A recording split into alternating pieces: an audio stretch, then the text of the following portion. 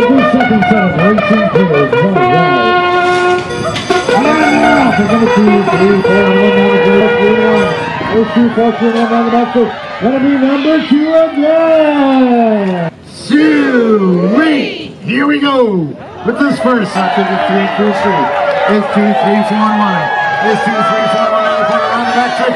It's gonna be number two. With this heavyweight set of pot belly right.